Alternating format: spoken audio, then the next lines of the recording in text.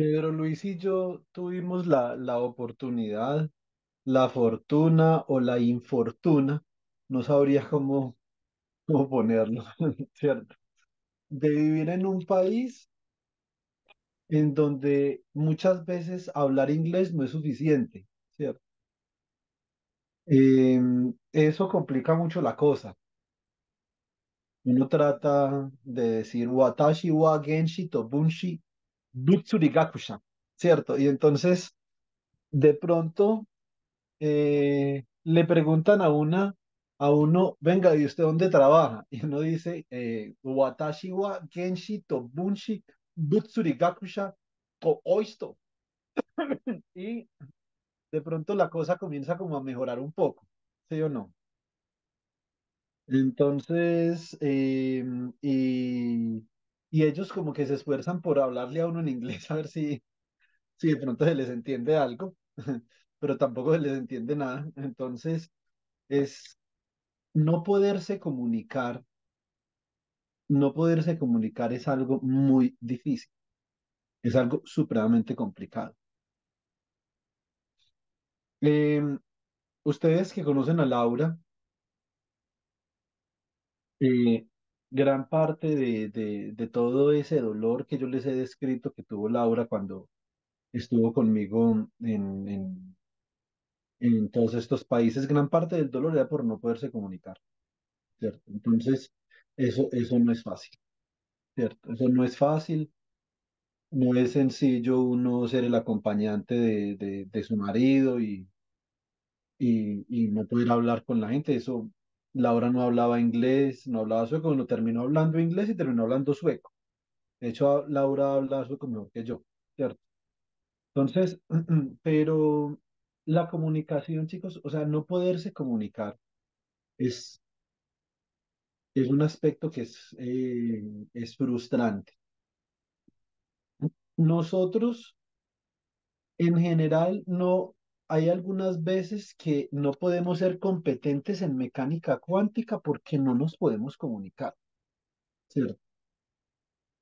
Eh, entonces, lo primero, lo que decía en estos días el profesor Boris cuando yo estaba hablando con él y con Melissa, él nos decía, yo defiendo la mecánica, aunque yo, yo no sé si es que Boris entendió que yo no defendía la mecánica, espero que no, ¿cierto? Porque la mecánica a mí me parece, digamos, un área muy importante del conocimiento. De hecho, yo el curso, el curso de, de mecánica es un curso que yo doy eh, varias veces por año, así no, no, no sea dentro de mi institución, pero yo, digamos que eh, Yo oriento el curso de mecánica para mi semillero de investigación, independientemente de la universidad donde yo me encuentre, yo oriento el curso de mecánica, ¿cierto? Entonces, me parece un curso muy importante, eh, pero en términos generales, como decía Boris, la mecánica nos permite a nosotros crear un lenguaje para poder comunicar la física, por lo menos originalmente. Con la mecánica nosotros aprendimos a, a decir energía, aprendimos a decir momentum, ¿cierto? Que espero que se vea en el video que compartió Pedro Luis. Aprendimos a, a decir escalas características. Cuando nosotros no nos podemos comunicar, vamos a tener muchas dificultades creando lazos con los conceptos y con las nociones de un área del conocimiento. Entonces es muy importante podernos comunicar, ¿cierto? Eh, dentro de, de- dentro de esa necesidad, dentro de esa necesidad de podernos listo, Juan Sebastián. Ahora vuelves a intentar si quieres. Yo espero estar estrenando computador en estos días. Vamos a ver cómo me va.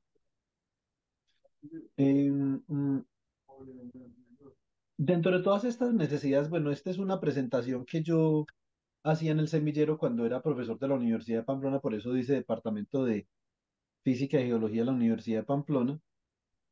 Tengo que cambiar esta portada. Pues tengo que cambiar esta portada porque lo, realmente lo que yo quisiera decir es yo que en la, en el título de presentación yo quisiera hacer esta pregunta. Do you speak.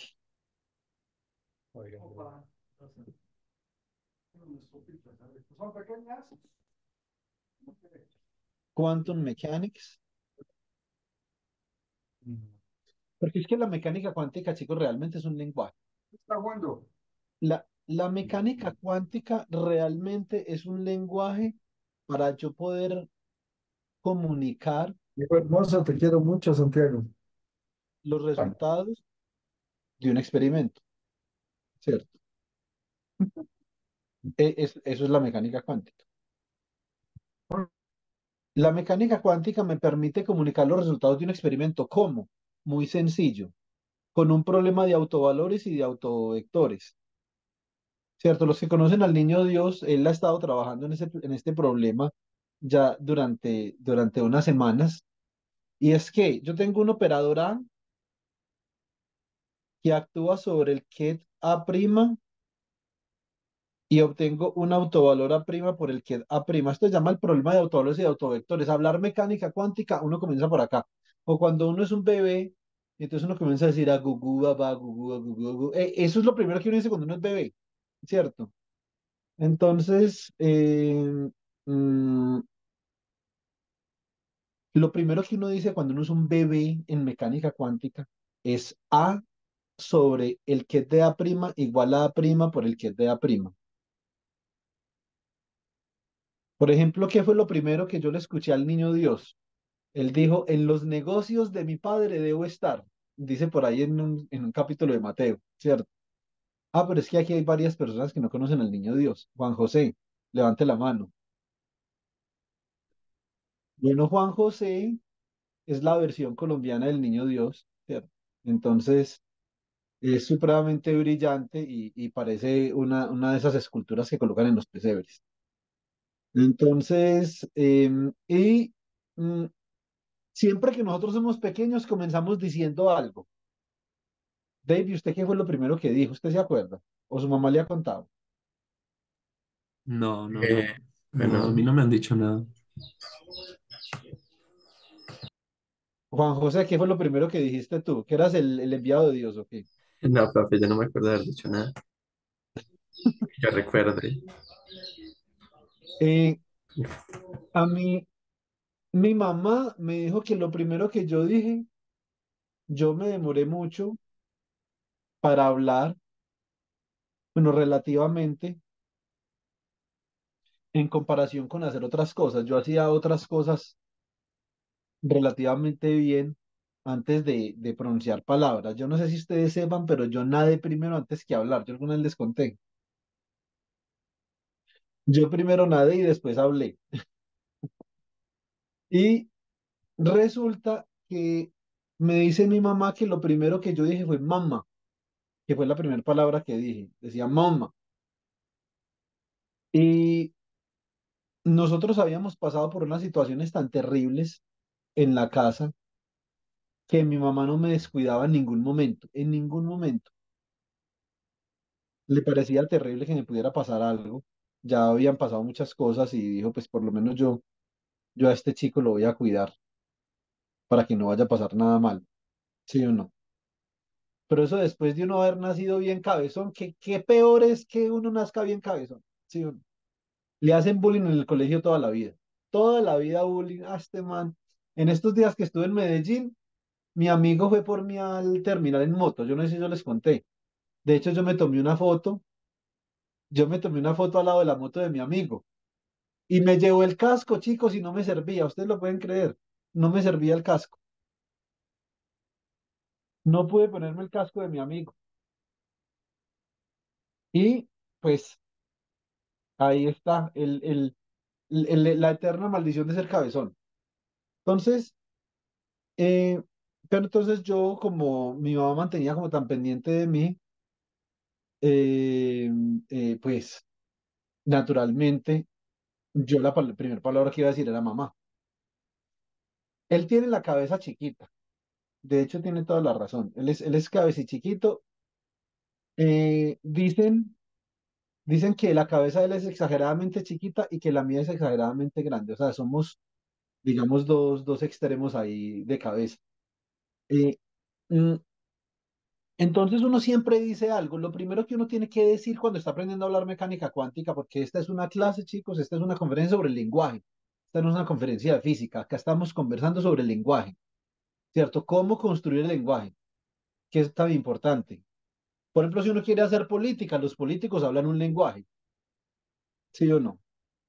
Si uno quiere ser comunista, los comunistas hablan un lenguaje, ¿cierto? Si uno quiere ser amigo de Juan José Herrera, hay que hablar un lenguaje particular. Hay que hablar en esas lenguas angelicales que solamente se entienden entre San Gabriel, ¿cierto? Entonces, siempre hay que hablar un lenguaje. Entonces vamos a aprender cómo se habla mecánica cuántica. Y la pregunta que nosotros nos vamos a hacer es, ¿Do you speak quantum mechanics? ¿Cierto? ¿Por qué es tan importante eso? Tenemos que entenderle a nuestro interlocutor cuando él nos está hablando de mecánica cuántica. Por lo menos si está haciendo un chiste, un chistecito de mecánica cuántica, ¿sí o no? Entonces, yo soy el operador y, tú eres un qué, y tu primo es el autovalor, por ejemplo, ¿sí o no? Entonces ahí ya eso tiene, eso tiene contexto, pues. Mm, vamos a ver entonces algunas cosas. Algunos aspectos importantes para hablar quantum mechanics son estos. Eigenvalue en eigenstate problems es importante, entonces los problemas de autovalores y de autoestados. Nosotros podemos colocar en contexto los problemas de autovalores y los problemas de los autoestados usando el experimento de Stern-Garlock, que es el experimento que dejó de entrevisto que el electrón, además de tener carga y además de tener masa, tiene spin. La estructura fundamental que nos permite hablar de mecánica cuántica son los espacios de vectores. Podemos transformar entre espacios de vectores, podemos definir espacios funcionales también.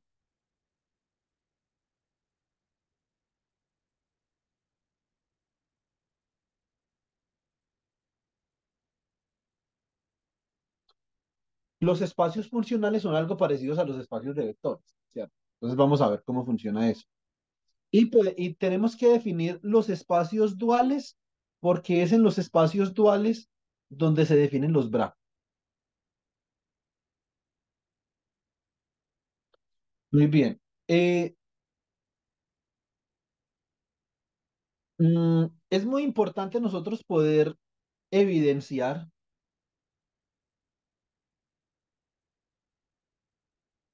que el álgebra lineal es realmente la estructura matemática que nos permite a nosotros hablar mecánica cuántica. Hay un conjunto de símbolos que nos permiten a nosotros comunicarnos, ¿cierto? Por ejemplo, nosotros en el español tenemos la ñ, la ñ no la tiene ningún otro idioma. Eh, el portugués tiene otras letras ahí, el alemán tiene, por ejemplo, A, umlet, O, umlet, U, umlet y la beta.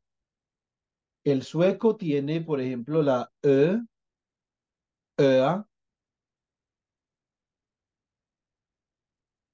y U.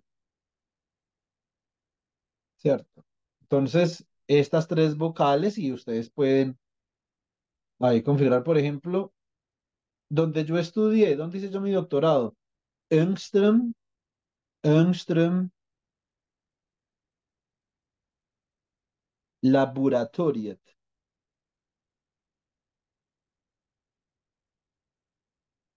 ¿Cierto? Entonces, hay, hay, un conjunto de símbolos que nos permite a nosotros poder construir un lenguaje y esos símbolos en este caso son el álgebra lineal, linear algebra.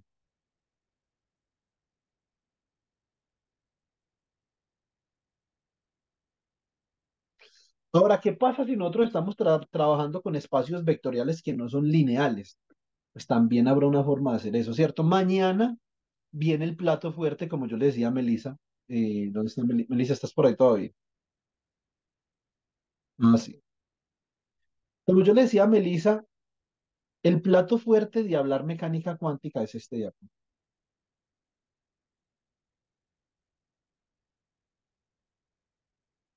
El operador de estado, estados puros versus estados mixtos. ¿Por qué? Porque es que nosotros definimos el operador de estado como lo hemos hecho en las sesiones anteriores del curso de mecánica cuántica disipativa, como la suma sobre m de pm del que de m en t, bra de m en t. ¿Por qué? Porque esta es una buena definición, eso lo vamos a aprender mañana. Lo que vamos a aprender hoy es que vamos a aprender a hablar quantum mechanics, ¿cierto? Entonces, mm, el problema más importante en la mecánica cuántica es del por lejos, pues, pero por lejos, el problema de los autovalores y los autovectores. Había un meme cuando yo estaba estudiando mecánica cuántica que era, si tú eres de aquellos físicos que tiene un amigo que piensa que la mecánica cuántica es la ecuación de Schrödinger, mándalo para el zoológico para que lo eduquen. Entonces, hay, hay un poco, o sea, hay, hay una gran cantidad de físicos en el mundo que se mandan, o sea, mandan a, hacer camisetas del gato de Schrödinger, que la ecuación de Schrödinger, ¿cierto? Eso, para uno pensar así, requiere cierto nivel de desconocimiento, ¿sí o no? Entonces, em, en estos días, Juan Sebastián, Juan Sebastián que no pudo prender la cámara, es uno de nuestros miembros fieles, activos eh, y, maravillosos del semillero que estamos tratando de construir en la UTP, junto con Juan José. Yo diría que María José también, pero es que María José a veces no viene, o sea, yo no sé qué le pasa a María José. Pero, pero Juan José, Laura Marcela, Santiago, Juan Sebastián son siempre, eh, están muy prestos a atender a nuestras charlas y, y a trabajar con nosotros. Y, y Juan Sebastián me preguntó ayer una cosa que me parece súper importante aclararla acá en este espacio. Voy a traerles los libros que tengo yo de mecánica cuántica.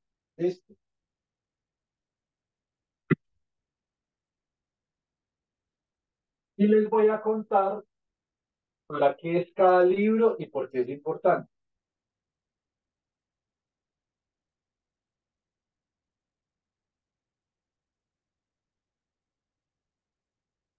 Bueno, realmente creo que subestimé la cantidad de libros que tengo yo de mecánica cuántica. Creo que tengo más, más de los que debería.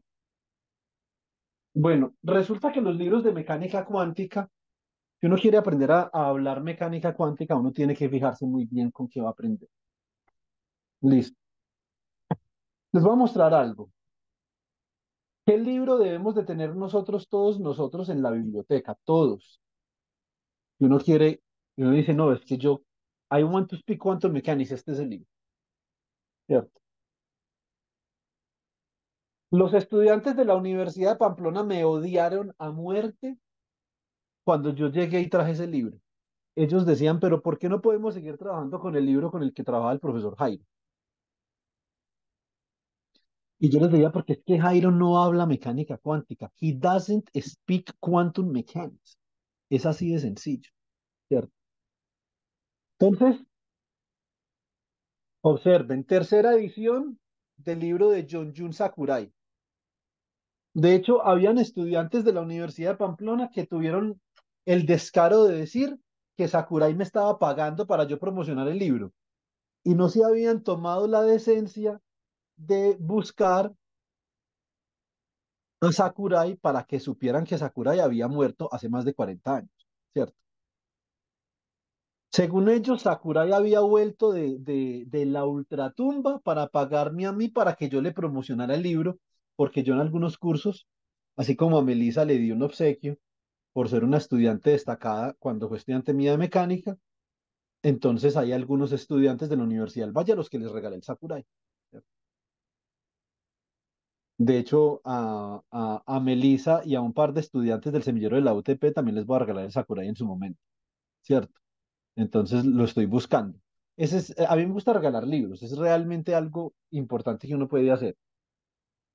Entonces, eh, bueno, y Sakurai tiene la versión avanzada también. O sea, si a uno no le basta la versión eh, estándar, está la versión avanzada del libro de Sakurai, ¿cierto? Ah, bueno, cuando se dieron cuenta que Sakurai no estaba vivo, entonces ahí sí comenzaron a decir que era Napolitano el que me estaba pagando a mí para que yo promocionara el Sakurai. Y yo, ¿y yo por qué no me estoy dando cuenta que me están pagando? Uno bien, uno, uno bien necesitado. Napolitano mandando plata y yo sin saber dónde me la está mandando. ¿Cierto? Entonces, ahora, hay otros libros, entre ellos el, el que yo considero más importante como apoyo al Sakurai para Speaking Quantum Mechanics es este. Se llama A Modern Approach to Quantum Mechanics de John Townsend. Es muy excelente este libro, chicos, pero excelente. Y este señor es un señor que habla supremamente bien la mecánica cuántica y que no, no eh, escatima, no escatima esfuerzos para eh, introducir la ecuación de Schrödinger y la, y la función de onda. Eh, no, mi cámara está prendida, Juan. Profe, su cámara no se, no, no está proyectando nada. A ver. Ahí. Es que, es que yo tengo dos usuarios en Zoom. Entonces tienen, tienen que ver el usuario donde yo tengo la cámara.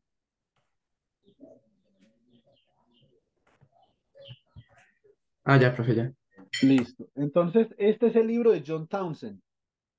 Este libro de John Townsend, de hecho, por ejemplo, si, nosotros miramos el, el, el a, a, mí me parece mucho mejor que ustedes comiencen con el libro de John Townsend, los que están más jóvenes, que con el libro de Sakurai, ¿cierto? Dice, por ejemplo, vea, comienza con, yo no sé si se alcanza a ver ahí, el experimentos de Stern-Gerlach y después las matrices de rotación, ¿cierto? Entonces, yo en el curso de mecánica, tanto en el de la Universidad Antioquia como el que he dado como curso de extensión, hago mucho énfasis en la rotación, porque la rotación es un procedimiento que nos enseña a nosotros mucho a hablar mecánica cuántica. ¿cierto? Y uno dice, bueno, ¿y después qué podría hacer? Bueno, pues yo les recomiendo que acompañen esos dos libros y el avanzado del Sakurai con un libro que tenga buenos ejercicios. De hecho, aquí Pedro Luis va a sonreír porque yo una vez compré este libro y resulta que yo conocía a un autor de este libro. Y se me pasó decirle al autor que me firmara el libro. Y después cuando llegué a Japón conocí a otro autor del libro. Y entonces le dije, por favor, eh, me firma el libro. Y, y cuando lo mandé para Colombia se me perdió. Curiosamente, después Pedro Luis vuelve a Japón y yo mando este libro con Pedro Luis y el autor me vuelve a firmar el libro. Entonces, que todos le agradecemos mucho al, al doctor Rubén Pinini y naturalmente a Pedro Luis. Eh, este es el libro de Quantum Mechanics de la serie Shaun. Tiene algunos ejercicios interesantes, ¿cierto? Co comete, comete algunos pecados hablando mecánica cuántica algunos. No, no, no los capítulos que escribió Rubén, no. Rubén es una persona que habla muy bien mecánica cuántica. He speaks really good quantum mechanics. Ahora, hay una extensión natural de la mecánica cuántica, que es la mecánica cuántica con relatividad. ¿Qué es lo que yo recomiendo? Lo que yo recomiendo es que si nosotros queremos hablar mecánica cuántica con relatividad, es que utilicemos este libro para aprender mecánica cuántica relativista. Este es el libro nuestro para los físicos de la materia condensada. Se llama Relativistic Quantum Mechanics with Applications in Condensed Matter and Atomic Physics. Este es el libro para hablar mecánica cuántica desde una óptica relativista. Bueno, entonces ahí uno dice, yo ahora más o menos me logro como entender con la mecánica cuántica, tengo como un lenguaje, ¿cierto? Todos esos libros tienen la, ¿qué característica tienen esos libros? Esos libros tienen la característica de que comienzan a conversar de mecánica cuántica con el problema de autovalores y de autovectores. Obviamente ahí lo que queda es aprender a representar el operador de forma matricial, ¿cierto? Es decir, hay que hallar los elementos matriciales del operador A y aprender a representar el ket como un vector columna.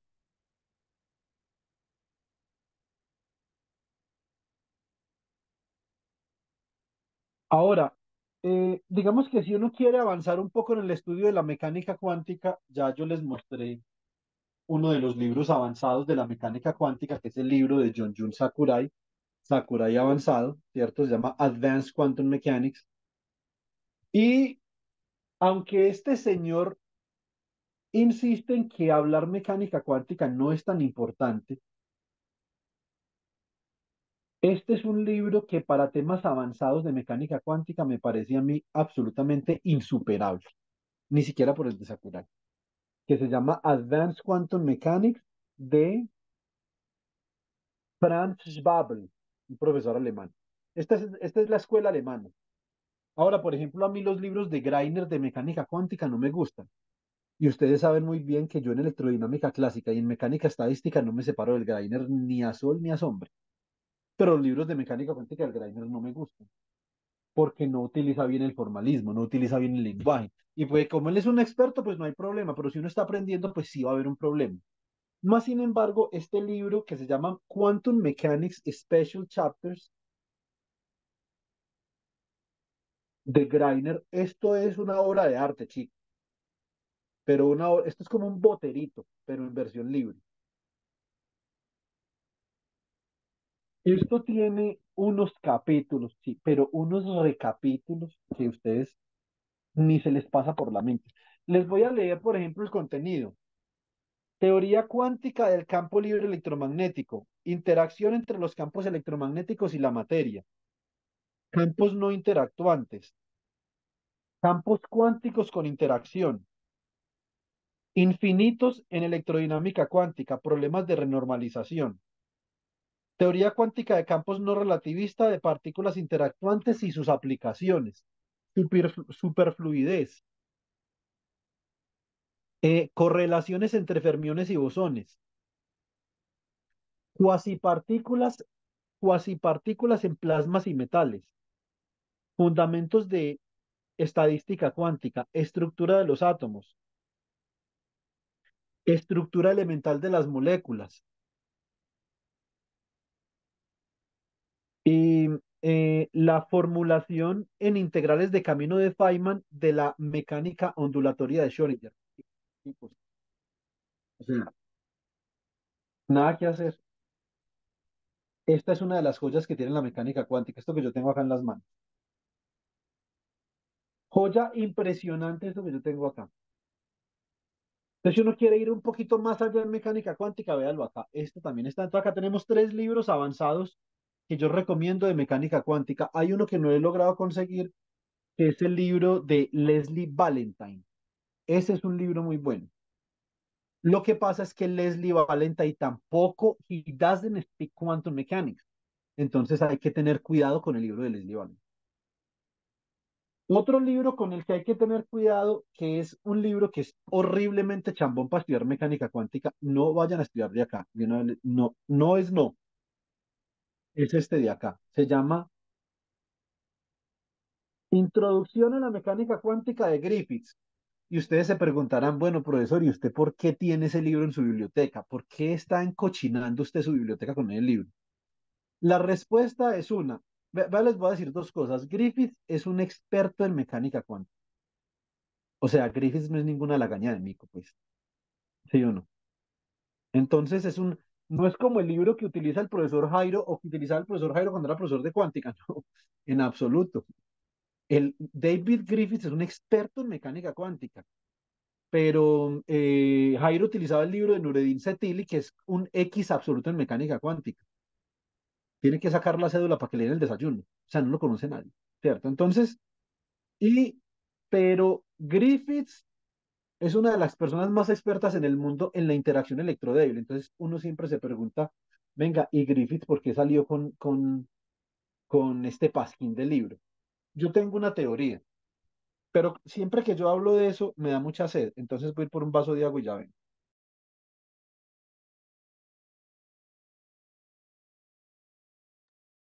Esta es mi teoría, chicos. Lo que yo creo es que David Griffiths quería hacer la mecánica cuántica comprensible para la comunidad. Y en un intento de hacer la mecánica cuántica comprensible para la comunidad, pues el señor Griffiths simplemente ¿qué hizo?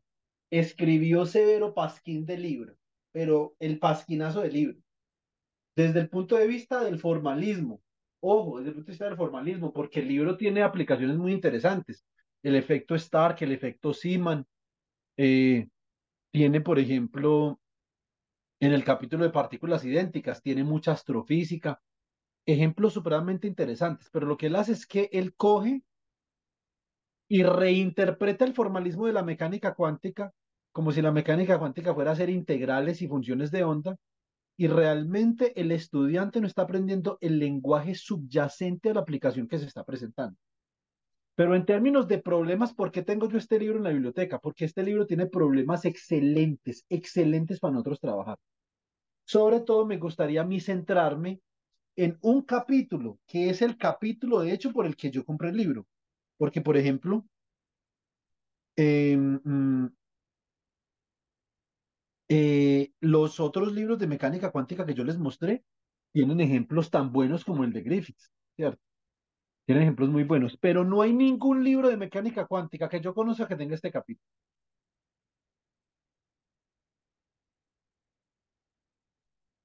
Y por eso, en el libro que yo estoy escribiendo, ya esta semana, ustedes van a tener una copia del primer capítulo la semana entrante de mi libro. El libro que yo estoy escribiendo se llama Dinámica de moléculas, disipación y transporte. Eh, en el libro que yo estoy escribiendo le estoy dedicando un capítulo entero al teorema diabático y a las aplicaciones de la mecánica cuántica adiabática, mucho más completo que el libro de Griffiths y que el libro de, de Michael Albetauni, ¿cierto? Entonces yo pretendo ser un pionero en la interpretación de la mecánica cuántica adiabática. Ahí hay varias cosas que estoy, que estoy explicando que no están explicadas muy bien en los libros. En los artículos sí, ¿cierto? Entonces, porque si no estuvieran explicados en los artículos, pues eso daría pie a que uno tenga una publicación. Eh, entonces, esa es la razón por la que yo tengo ese libro, tienen que cuidarse de ese libro. Ahora, si ustedes, por ejemplo, lo que quieren es de alguna forma incursionar en disipación, yo quiero estudiar mecánica cuántica disipativa, pues aquí les tengo tres libros. Primer libro, la clave, Quantum Dissipative Dynamics de Ulrich Weiss, ¿cierto? Entonces, esa va a ser la compañía de Melissa de noche y de día los próximos 14 meses. Y resulta que a ese libro lo vamos a acompañar con este libro que se llama Ruido Cuántico, de nada más y nada menos que Peter Soller. No necesita presentación, ¿cierto? Entonces, pero si nosotros queremos de pronto un poco más de detalle, nos dicen, es que estos libros de pronto no tienen tanto detalle, pero como los estamos, estos libros los estamos desarrollando en el curso que estamos haciendo y está en YouTube, pues yo les voy a dar el detalle de estos libros en ese curso. Ya en la sesión de esta noche vamos a trabajar más, es con el libro de ruido cuántico. Capítulo 2, vamos a ver un poco de mecánica estadística cuántica. Entonces, pero está el libro de óptica cuántica de Scully y Zubairi. En este libro, a partir del capítulo 2, ustedes van a poder encontrar, a partir del capítulo 2, ustedes van a poder encontrar eh, una gran cantidad de ejemplos interesantes del operador de estado, ¿cierto? Y cómo construir observables usando el operador de estado. Hay una diferencia entre uno construir un observable con un, una formalidad matemática, ¿cierto? Y coger e ir a medir eso en un laboratorio. El observable simplemente es algo que dentro de la definición axiomática de un experimento yo podría medir. Que muy posiblemente no puedan medir en el laboratorio. ¿no? La gente le dice a uno, voy a medir el campo eléctrico. Y uno les dice, sí, pues buena suerte.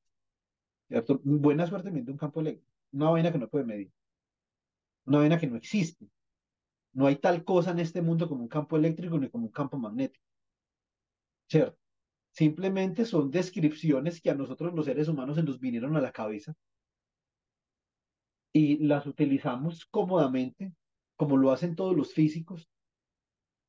Todos los físicos hay veces que adoptan, eh, adoptan una estructura para explicar fenómenos que ellos bien no entienden.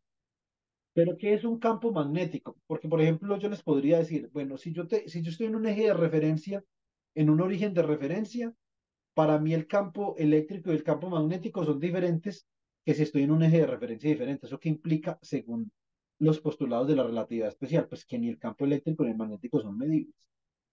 Porque el campo magnético y el campo eléctrico tendrían que ser medibles para ambos observables, deberían de ser iguales y no lo son para ambos observadores, un observador inercial en la posición O y un observador inercial en la posición O', ¿cierto? Y no lo son. Tema que yo explico con amplitud en mecánica y en electrodinámica, ¿cierto? Muy bien. Y por último, se vienen las aplicaciones en química. La química reposa mucho sobre la mecánica cuántica. Si yo soy un químico o un biólogo y quiero aprender mecánica cuántica para biología o para química, ¿qué tengo que hacer? Entonces, lo primero que tienen que hacer es no querer aprender mecánica cuántica. No mentiras. Entonces, lo primero que hay que hacer es esto. Tenemos acá el libro de Molecular Quantum Mechanics de Peter Atkins, ¿cierto? Y Ronald Freeman. Este es el primero. Ahora, a este libro, este es un libro conceptualmente brillante, pero en, en algunos apartados le faltan detalles. Entonces, para los detalles tenemos esta, este mamotreto de acá. Aquí está. ¿Ustedes quieren detalles? Véanlo acá. Aquí están. Aquí están todos los detalles de Elementary Molecular Quantum Mechanics. Lo que ustedes quieran. Integrales de intercambio. Determinantes de Slater. Lo que ustedes quieran. Ahí hay de todo. Entonces, yo creo que esto es una, esto es una actividad que había pedido el compañero Juan Sebastián. Ahí ya, eh, yo creo, Juan Sebastián, que tienes una idea de, de, qué hay en mecánica cuántica y para qué.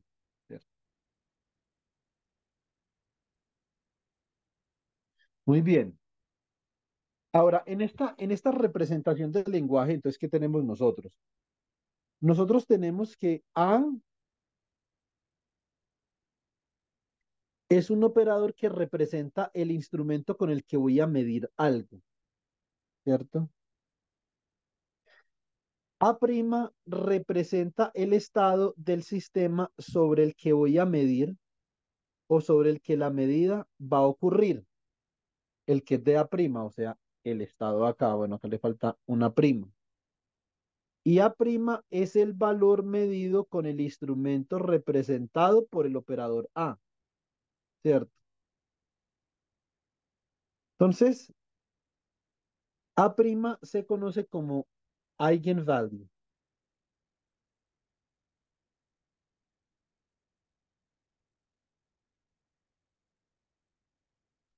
Listo. La cantidad física asociada con la medida A' se conoce como observable. Eso simplemente es un valor que es, eso es un nombre que se le da, eso no significa que se llame así. no significa que yo vaya a coger y me vaya por un laboratorio y vaya a medir A', que es el autovalor de un operador, porque, por ejemplo, el operador de estado tiene autovalores y el operador de estado no es observable. Entonces, digamos, hay que saber diferenciar bien ese aspecto.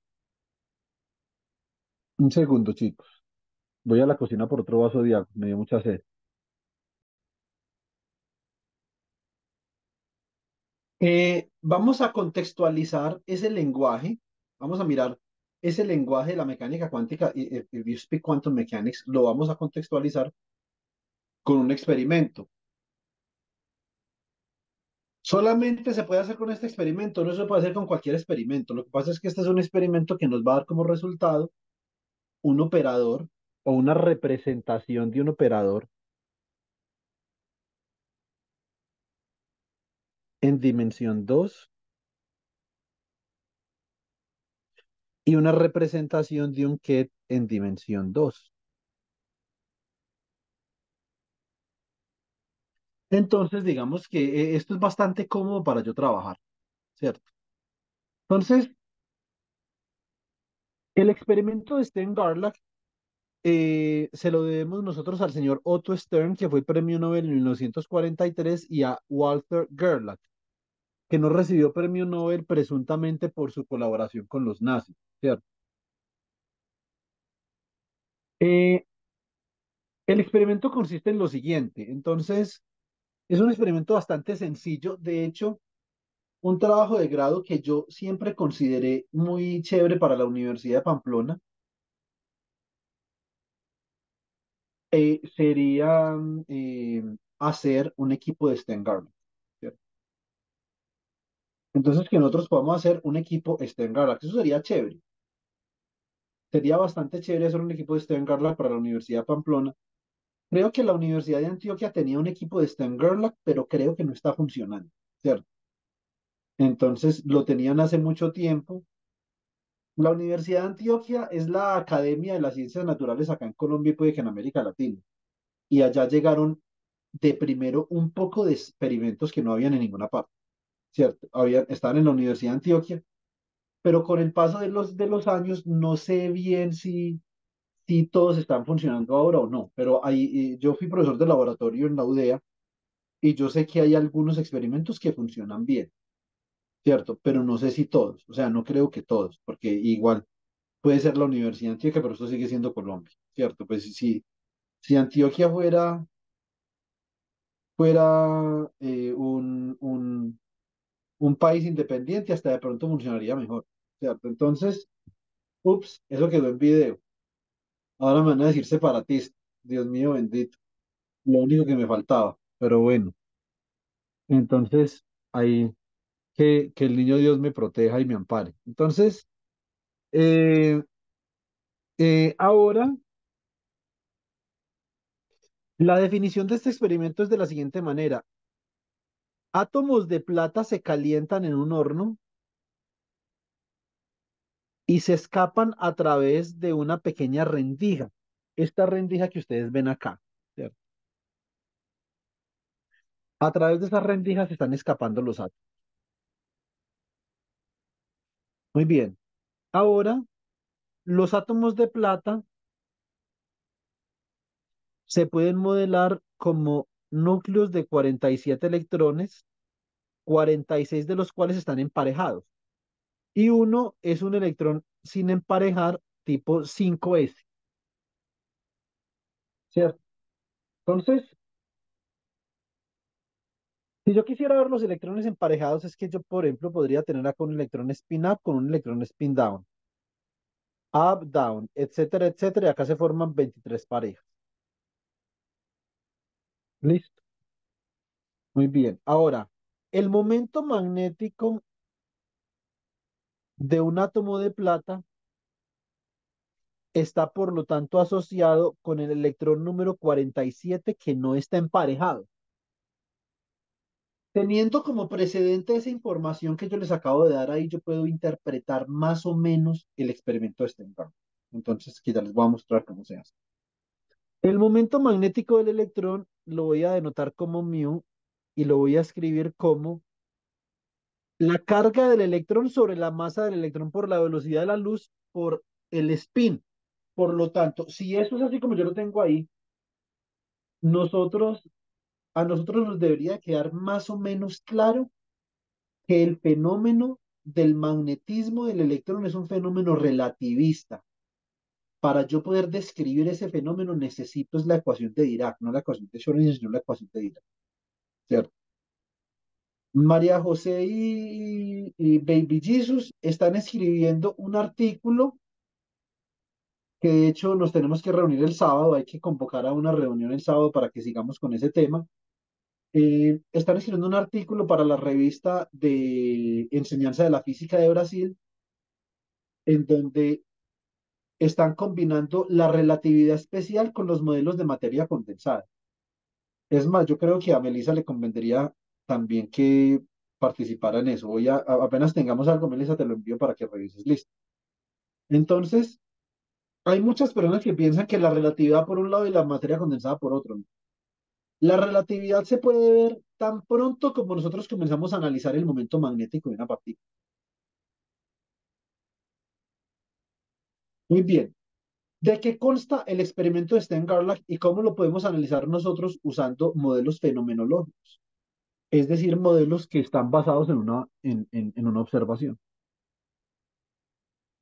Bueno, entonces, eh, mm,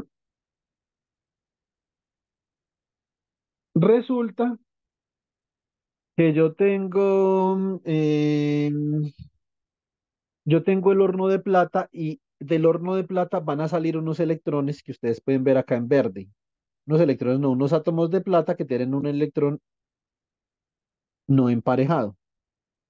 Tan pronto él siente ese imán, ese campo magnético producido por el imán, ¿cierto? Entonces, lo que sucede es lo siguiente. Unos electrones van a reaccionar ante ese campo magnético desplazándose en esta dirección y otros electrones van a reaccionar ante ese campo magnético desplazándose en esta dirección.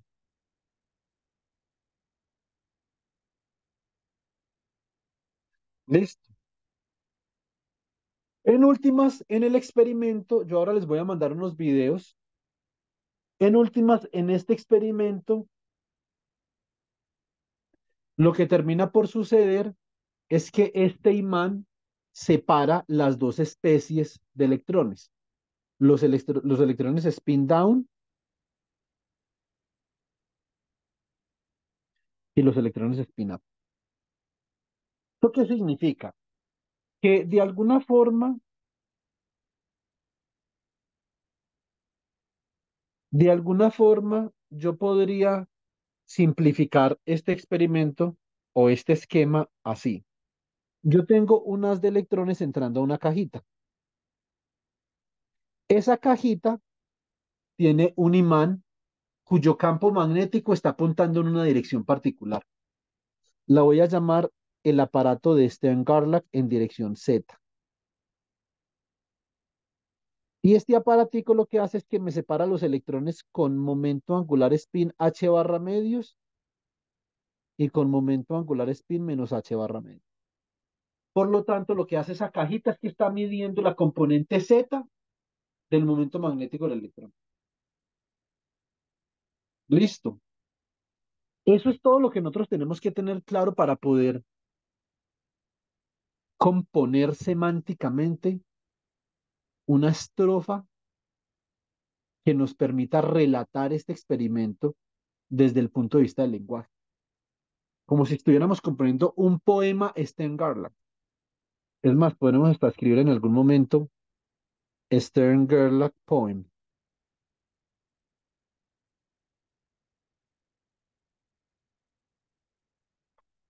Muy bien. Desde el punto de vista de la física fenomenológica, lo que está pasando es lo siguiente. Yo puedo considerar que la energía requerida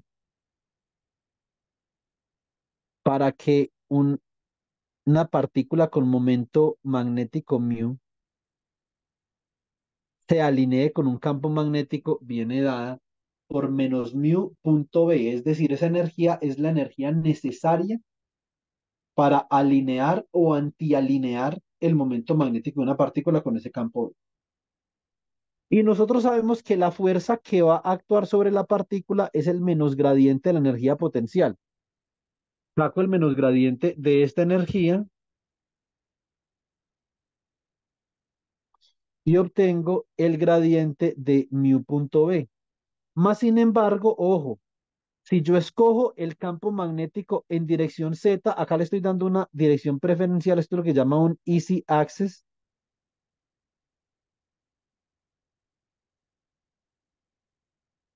Entonces, la fuerza queda dada por esta expresión de acá.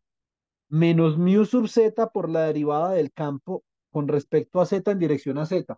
Por eso es tan importante, jovencitos, que ese campo magnético no sea uniforme, porque si ese campo magnético es uniforme, la derivada de B con respecto a Z es cero. Uniforme me refiero a que no cambia con la posición en Z. ¿cierto? Sería el mismo a lo largo de la distribución de Z. Entonces, en ese caso particular, habría una fuerza actuando sobre las partículas. Para los momentos magnéticos negativos, esa fuerza va en dirección Z positiva. Y para los momentos magnéticos positivos, esa fuerza va en dirección Z negativa, como ustedes pueden ver ahí. Por eso es que ambas especies, ambas especies de, de átomos se van a organizar en diferentes lugares. Inicialmente, a esto le habían llamado Space Quantization. Y después se dieron cuenta que tenía que ver con el spin. Listo. Muy bien. Lo que, lo que querían saber realmente era si, si, a ver, lo que querían saber, chicos, era si realmente los elementos básicos de la física que se conocían en ese momento podían describir este fenómeno. ¿Y eso cómo lo hicieron? Bueno, pues consideran esta como la línea base en la que originalmente se han emitido los electrones. Y esta de acá va a ser la distancia, la distancia que viajan los electrones después de que experimentan el campo magnético. Entonces nosotros sabemos que la distancia es un medio de AT al cuadrado. Eso es lo que dice el libro de Klebner. ¿Cierto? Y los otros libros, pero yo los otros libros me hago de cuenta que no existen, ¿cierto? Entonces, y eh, yo tengo que la aceleración es la fuerza sobre la masa, o sea que esto es un medio de la fuerza por unidad de masa y que el tiempo es la longitud, la longitud que está viajando, esta longitud de acá, dividido entre la velocidad. Bueno, muy bien. ¿Qué tenemos nosotros acá? Tenemos un medio de mu sub z derivada de b con respecto a z, es la fuerza por L al cuadrado, dividido mv al cuadrado. Pero ojo que 2, ojo, 2 mv al cuadrado es una energía que está relacionada con la escala térmica de Boltzmann. Dependiendo de la temperatura a la cual se estén emitiendo los electrones, entonces van a tener más velocidad o menos velocidad, son velocidades térmicas. Y por lo tanto, nosotros podemos decir que la distancia viene dada por esa expresión que hay ahí. ¿Cierto? Muy bien. Si reemplazamos algunos valores característicos, por ejemplo, para la variación del campo, que sería 10 Tesla por centímetro, la distancia que sería 3 centímetros, la energía térmica que sería 0.1 electronvoltio, nosotros obtenemos que la distancia entre, entre la línea base y el centro de la distribución de los electrones es más o menos del orden de 100 micrómetros, ¿cierto? Y coincide, esa distancia coincide perfectamente bien con la realización experimental de Stendhal, Muy bien, ahora vamos a ver cómo se habla mecánica cuántica con Stern How do we speak quantum mechanics with Stern ¿Cierto? Entonces, eso es lo que queremos saber. How do we speak quantum mechanics with Stern Yo les había dicho que esta realización experimental que nosotros estamos proponiendo acá, la puedo yo resumir en el siguiente bloque. Yo puedo decir que tengo una cajita que me va a representar un aparato de Stern ¿cierto?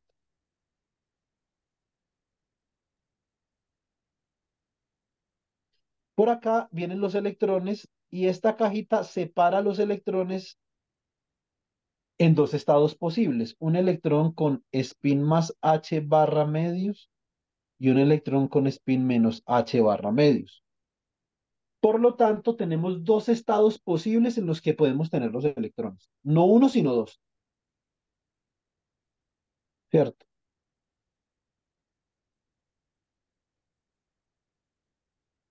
Muy bien.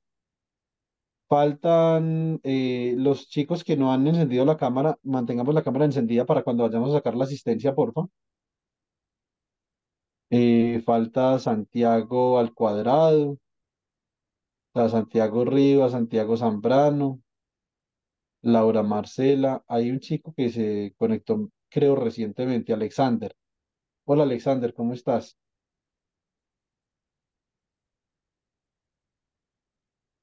Hola. ¿De dónde vienes tú? No te, no te identifico. Una invitación de un primo. No sé si puede estar aquí. Sí, claro, totalmente. Y me imagino que el primo tuyo es Santiago. Sí, Sí, claro. Lo, lo saca uno por el acento. sí, sí, es similar, ajá. Bienvenido, Alexander. Siempre que quieras, eres bienvenido. Ah, vale, muchísimas gracias. Ah, Con gusto. Entonces, resulta que esa cajita que hay ahí, lo que termina haciendo es que termina separando, termina separando los electrones en dos estados diferentes. Y a cada estado, a cada estado le vamos a asignar un vector distinto. A los electrones spin-up les vamos a asignar el vector 1, 0. Y a los electrones spin-down les vamos a asignar el vector 0, 1. ¿cierto? Entonces observen que el concepto de vector que viene del álgebra lineal para nosotros es completamente útil para poder comenzar a pensar semánticamente o en términos de un lenguaje para la mecánica cuántica. ¿Sí o no? Mantengan la cámara encendida, chicos, para cuando pueda sacar la asistencia, porfa. Muchas thank you. Bueno, una pregunta. Bueno, no una pregunta. Es que yo ahorita a las dos y media tengo que salir que tengo cita para cambiar los lentes y pues no sé si puede tomar la asistencia antes. No quisiera Sí, sí, faltar. sí, tranquilo, no hay problema. Por favor, mande foto de los lentes para poderle creer. No Bueno, mentiras, por bueno, está molestar. bien. Cuando lleguen. Entonces, y si cualquier gasto, cualquier gasto adicional, eh, sobre todo en esta época, le recomiendo que cuente con el Niño Dios para el 24 de diciembre, que de pronto al- alguna, alguna cosa de poder hacer. Muy bien. Entonces, lo que yo tengo acá es lo siguiente. Observen esta cajita. La voy a tratar de hacer un poco más derechita.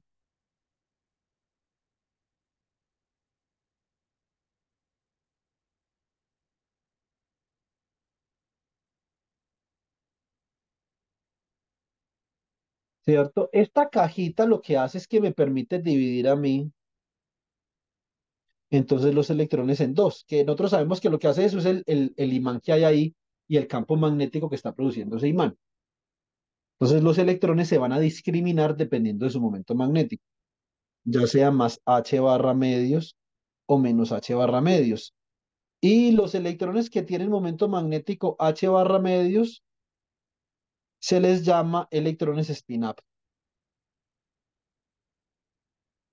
en la dirección Z. Y los que tienen momento magnético menos H barra medios se les llama electrones spin-down en la dirección Z. Listo.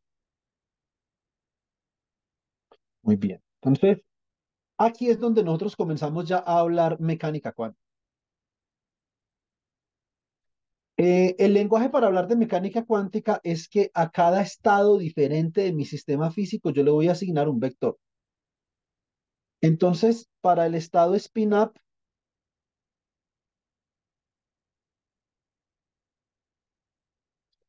asigno yo el vector 1, 0. Y para el estado spin-down, asigno yo el vector 0, 1.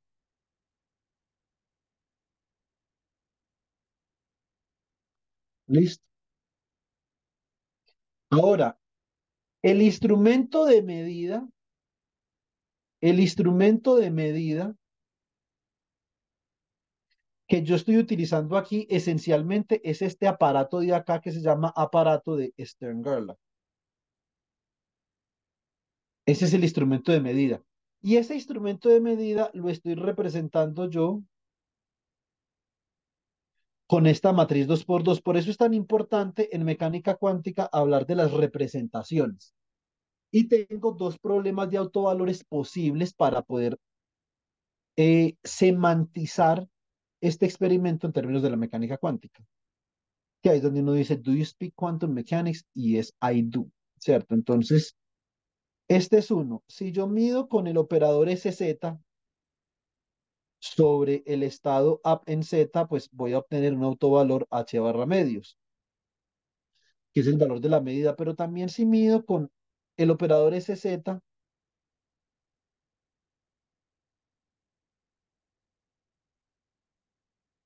sobre spin down, voy a obtener menos H barra medios. ¿Cierto? Esos son los dos problemas de autovalores correspondientes a este experimento.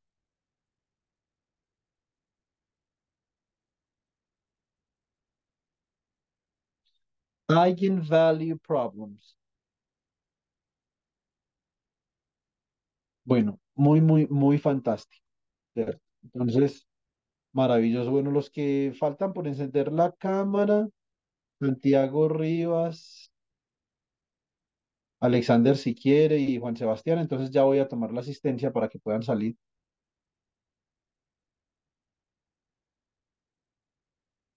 Bueno.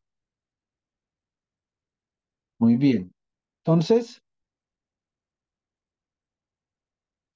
esta es, este es el formalismo o la estructura formal de la mecánica cuántica, lo que yo les acabo de mostrar acá.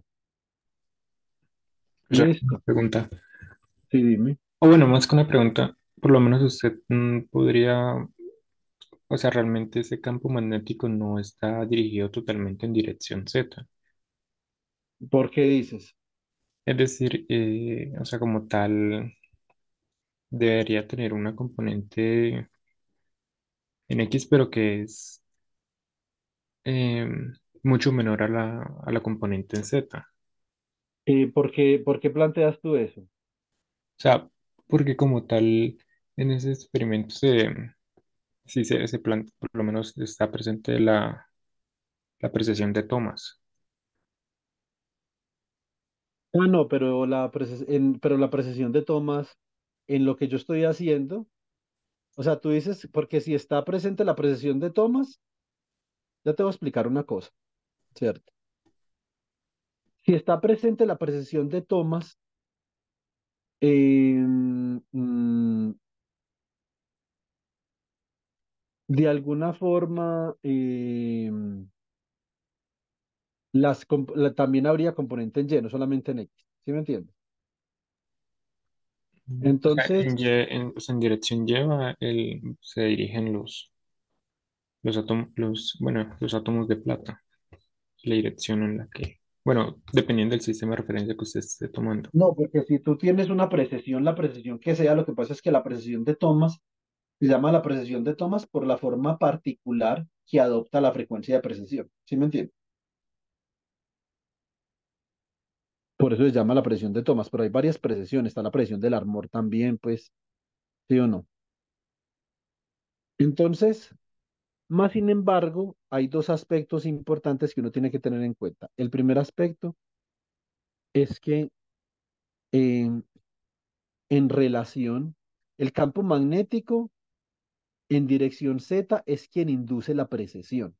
Y la precesión es un fenómeno dinámico, ¿cierto? Entonces, lo primero que uno tiene que tener en cuenta, Cristian Santiago, es que como la precesión es un fenómeno dinámico, nosotros estamos midiendo el spin en dirección Z cuando ya ha pasado el transitorio. Tú puedes ver que hay un efecto también dentro de las precesiones que llama el efecto de damping, ¿sí o no? Con el efecto de damping se, se disipa irreversiblemente esa energía que le da el campo magnético, em, que le da el campo magnético, o, digamos no, no que le da el campo magnético, sino que se disipa, se disipa la energía que tenía el spin para poder precesar de esta forma. Cuando el spin está precesando, a ver, cuando el spin está precesando, está haciendo como algo así, Cristian, ¿cierto?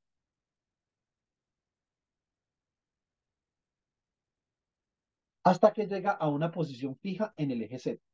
Cuando el spin llega a una posición fija en el eje Z, entonces ya no tiene ni componentes en X ni componentes en Y.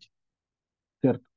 Porque si él tuviera componentes en X y componentes en Y, entonces tú estarías obligado a determinar la componente del spin en una dirección, em, en una dirección eh, que sea una combinación lineal entre X, Y y Z, ¿cierto? Como lo hicimos nosotros en el curso. Ah, bueno, tú no viste conmigo cuántico, pero nosotros hacíamos ese ejercicio en el, en el curso de mecánica cuántica, ¿sí? Entonces, por eso lo que tú tienes que determinar es si tú estás hablando del experimento en términos dinámicos o en términos estacionarios. Nosotros estamos hablando del experimento en términos estacionarios porque después de que el spin precesa, Cristian, él comienza a precesar hasta que llega un momento en el que su dirección coincide con la del campo. Eso es, eh, esa es la idea de poder dividir la dinámica del spin en la dinámica estacionaria y la dinámica no estacionaria. ¿Cierto? Entonces, eso es lo primero. Lo segundo es que si tú quisieras analizar esto en el régimen dinámico, inclusive en el régimen dinámico, la precesión del armor sería eh, completamente, eh, completamente mm, despreciable por las escalas de energía. La, la precesión de Tomás son escalas de energía muy pequeñas. Para tú compararlas con cualquier otra escala de energía del problema con la que estés midiendo, ¿cierto? Pero eso, esa, ese segundo aspecto que yo te acabo de relatar es un segundo aspecto que es irrelevante. ¿Por qué es irrelevante? Porque yo estoy haciendo medidas es sobre el valor estacionario del spin, no sobre el valor dinámico. Ahora, ¿qué significa que un spin precese? Eso es un concepto clásico, Cristian. No es un concepto cuántico. Digamos, la precesión del spin es, en absoluto es un concepto cuántico, es un concepto completamente clásico. Habría que preguntarse uno qué es lo que significa que un spin, que es una proyección discreta, Cristian, haga esto. ¿Qué, ¿Eso qué significa en mecánica cuántica? ¿Cierto? Hay modelos, hay un modelo que estudió Pedro Luis en estos días que es parecido a las ecuaciones de Bloch, que es el modelo de Landau, Lifshitz y Gilbert, por si quieres profundizar un, un poco en ese tema.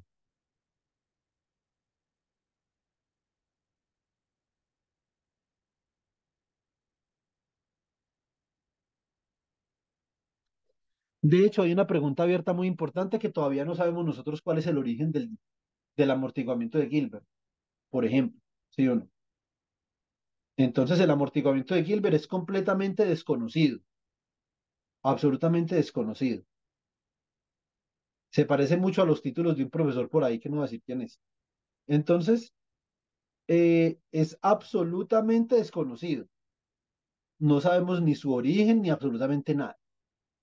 ¿Cierto? Entonces, eh, bueno, chicos, vamos a mm, rápidamente tomemos la asistencia antes de que haya David. Miremos la cámara, porfa. Que ahora tomé una, pero Pedro Luis quedó por allá rezando.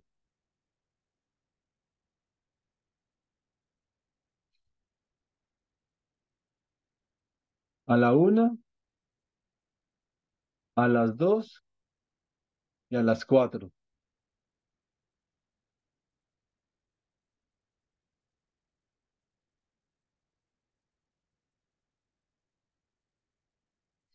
Y el niño Dios quedó apenas ahí como para colocarle un montaje, colocarle a María a la izquierda y a José a la derecha. Ahí quedó preciso, pues. Listo, baby. Mis mejores Listo, Juan. deseos. Listo. Adiós a todos. Nos vemos más tarde. Nos vemos. Chaito.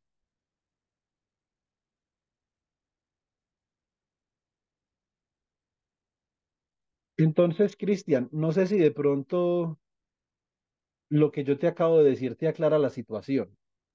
O sea, yo lo hacía en el sentido, lo hacía la pregunta en el sentido de que como tal, si usted solamente tiene el, el campo magnético en dirección Z, eh, la divergencia del campo magnético no es cero. ¿La qué? La divergencia del campo magnético. Claro que cero. Siempre cero. Eso es una ley que nosotros no podemos circunventar absolutamente de ninguna forma. Usted eh, eh, puede decir que el campo magnético está en dirección Z, ¿cierto? El campo, el campo magnético va a estar en dirección Z en la escala, en la escala que afecta el problema, ¿cierto? Recuerda que todo tiene que ver con escalas. Entonces, por ejemplo, tú tienes un imán y el campo magnético obviamente tiene, tiene, las líneas de campo son así, pero por ejemplo, en cierta región, aquí en cierta región, el campo magnético está en dirección Z. Y si tú comparas esa escala característica, así como lo hicimos acá, en estos cálculos que nosotros tenemos, nosotros comparamos la escala característica, por ejemplo, decimos 10 Tesla por centímetro, ¿cierto? Entonces, dependiendo de la intensidad que yo tenga del campo, yo voy a poder definir una escala característica de longitud para que ese dB de Z signifique algo, sea significativo en el análisis del problema. Entonces, porque, por ejemplo, yo te podría decir a ti, no, eh, eh, digamos que un, ejemplo, pues un ejemplo que se me viene a la mente, el, el, la velocidad de la luz no es constante. Bueno, pues la velocidad de la luz era constante en, en, en, en unos regímenes espaciales astronómicos, ¿cierto? Pero, por ejemplo, si nosotros consideramos regímenes espaciales muchísimo más gigantes, de pronto en las fronteras la velocidad de la luz comienza como a cambiar un poquito y un poco de fluctuaciones. O, por ejemplo, la gravedad. Tú podrías decir, es que la gravedad no es 9.8. Ah, pero como yo estoy haciendo el experimento en Bogotá, pues es 9.8, será 9.78 en el polo norte y 9.82 en el polo sur. Entonces tú puedes determinar la escala de longitud a lo, largo de la cual la gravedad sigue siendo 9.8. Y, y habrá una escala de longitud un poco más grande donde ese 9.8, Cristian, comienza a tener fluctuaciones de 9.8 a 9.78 y 9.8 a 9.82. ¿Sí me explico?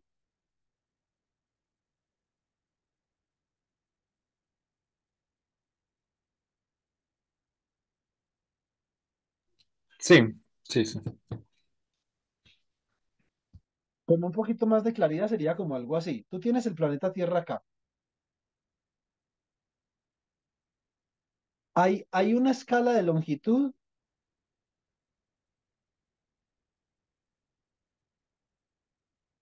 Hay una escala de longitud donde la gravedad es constante. Y acá la gravedad comienza a variar. Pero tú puedes considerar, por ejemplo, que la gravedad es constante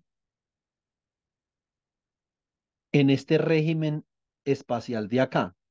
Lo mismo tú podrías considerar, por ejemplo, que el experimento de Stern-Garlock, este campo magnético está orientado en Z en esta escala de longitud de acá, que es una escala de longitud que, por ejemplo, si tú defines esa escala de longitud en términos del dB de Z, Cristian, entonces te va a producir un dB de Z de 10 Tesla por centímetro, que va a ser una energía considerablemente más grande que otras escalas de energía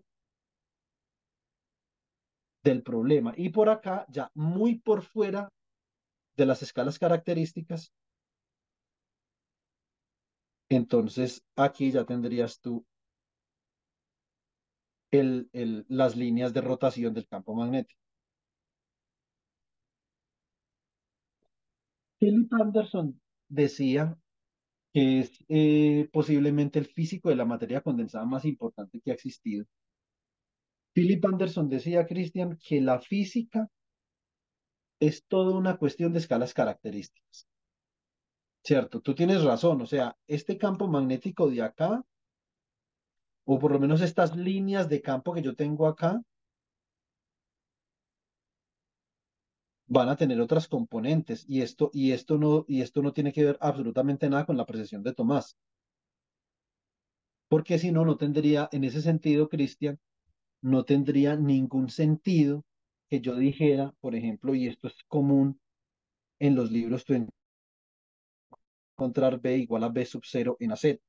O por ejemplo, ¿qué significaría esto para ti? Si a ti te dicen en un libro eso, para ti eso qué significa?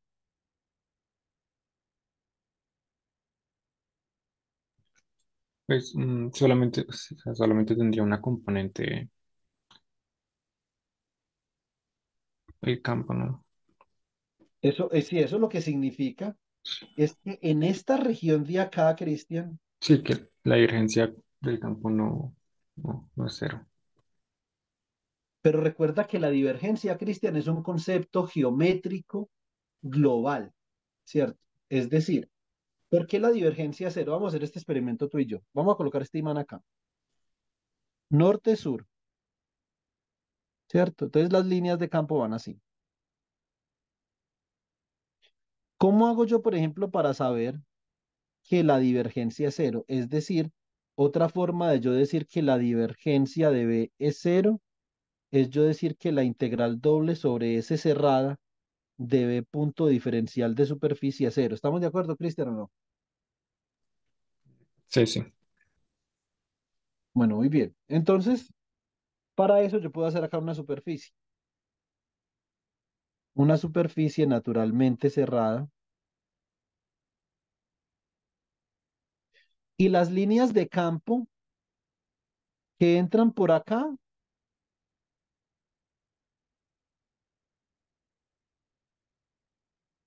son las líneas de campo que salen por acá. ¿Cierto? ¿Qué es lo que viene a significar eso? Bueno, pues Cristian, que para tú poder ver el fenómeno de la divergencia, lo tienes que ver de manera global. O sea, tú no puedes medir la divergencia localmente, ¿cierto? Tú tienes que ver para la divergencia de dónde vienen las líneas y hacia dónde van, ¿sí o no?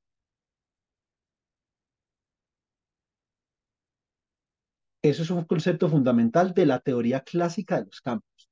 Muy importante. En la teoría clásica de los campos, tanto la divergencia como el rotacional son conceptos que requieren que tú no mires localmente la divergencia. La divergencia no es un operador local, es un operador global. Y el rotacional requiere que tú no mires localmente tampoco el rotacional. ¿Cierto? Tienes que mirar el rotacional, Cristian, el rotor de un campo vectorial también lo tienes que mirar de esta forma. Tienes que saber si es una trayectoria cerrada, si es una trayectoria abierta, etcétera, etcétera. Y el teorema de Stokes, debes recordar bien que el teorema de Stokes eh, está asociado con una superficie abierta, o sea que tienes que mirarlo globalmente. Yo creo también en relación a las escalas características, Cristian, que sería bueno que ustedes se le pegaran una leidita a este paper, se llama More is Different.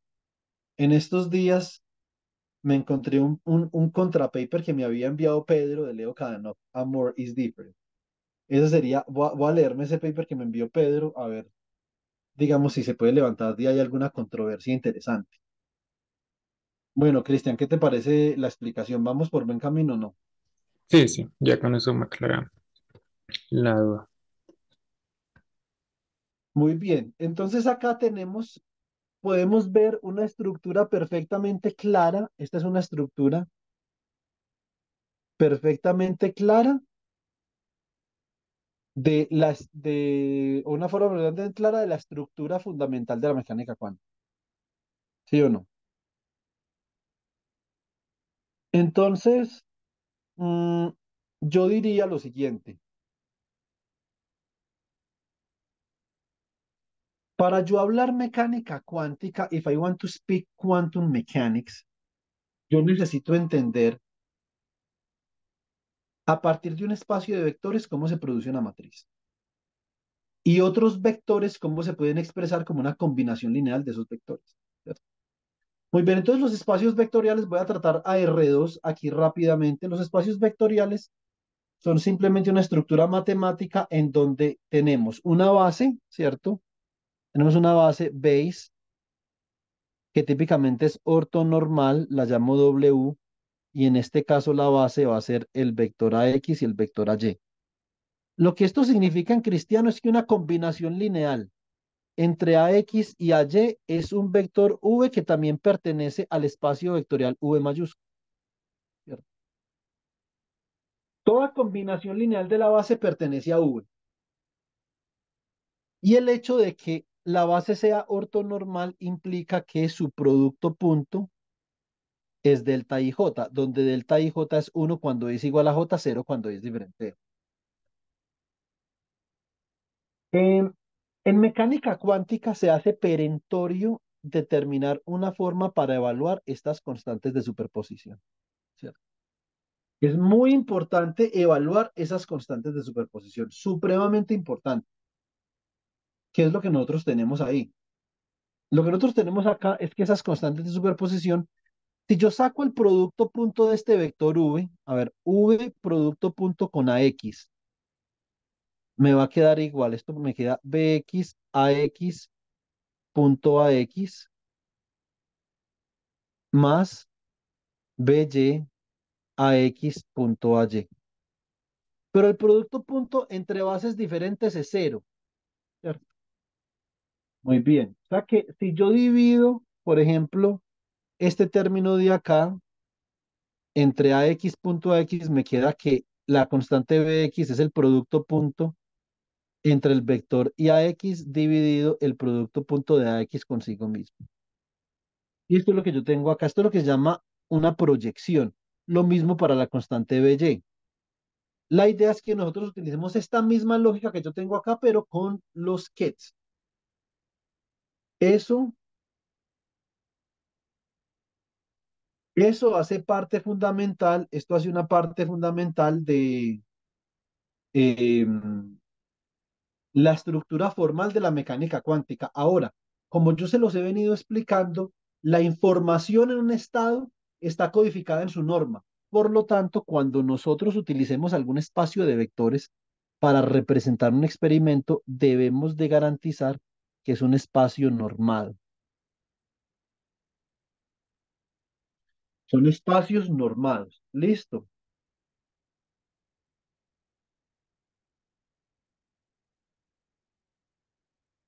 Un segundo. Bueno, muy bien. Esta es la norma en R2. Listo.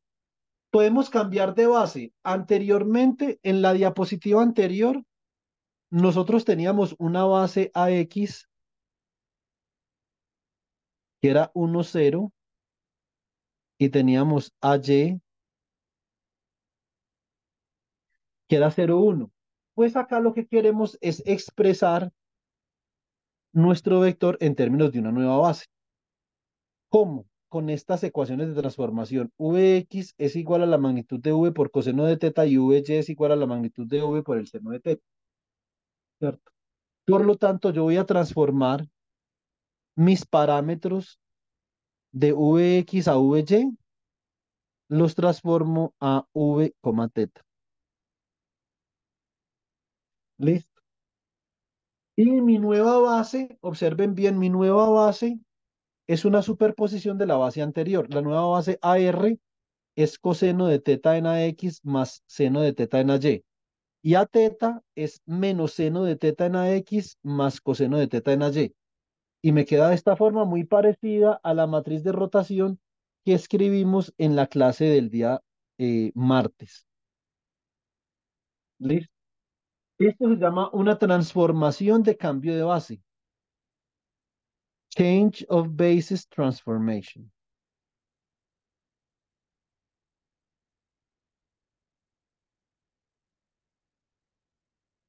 Listo, muy bien. Y esta nueva base cumple con el criterio de que es ortonormal. ¿Cómo hago yo para determinar eso? Porque AR.A teta reemplazo en términos de la base original, ¿cierto? Y me da cero, ¿cierto? Y puedo demostrar que AR.AR es igual a teta.A teta, es coseno cuadrado de teta más seno cuadrado de teta, que es 1, o sea que esto es orthonormal base.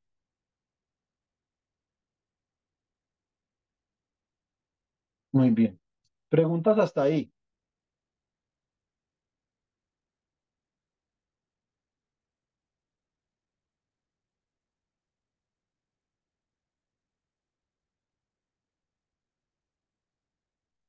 Listo. Entonces observen, por ejemplo, lo siguiente.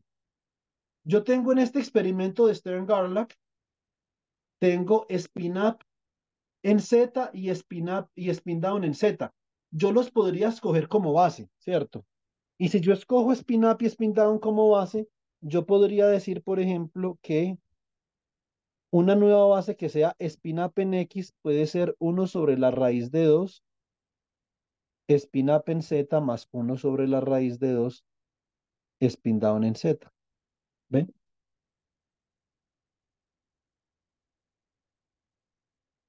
Y puedo hallar una transformación de cambio de base entre up en X, down en X y up en Z, down en Z. ¿Cierto?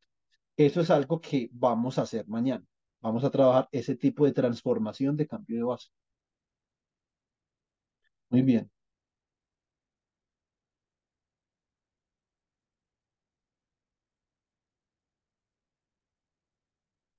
Bueno, entonces vamos a hacer algunos ejemplos.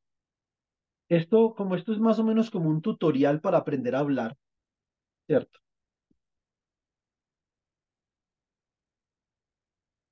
Podríamos inclusive eh, anunciar esto en la radio de esta forma. Si es usted una persona que se considera un gago para mecánica cuántica, matricúlese en este curso, aprenda a hablar. En cuatro horas, you will learn how to speak quantum mechanics, ¿cierto? Entonces, eso es lo que estamos haciendo. Estamos aprendiendo a hablar quantum mechanics. Una parte fundamental para yo aprender a hablar quantum mechanics es esencialmente esto. Yo necesito aprender o yo necesito profundizar en qué es lo que hace una matriz sobre un vector. Por eso esta diapositiva de acá se llama Matrix Vector Operations. Observen una cosa. Una matriz, la multiplicación de una matriz, por ejemplo, Z,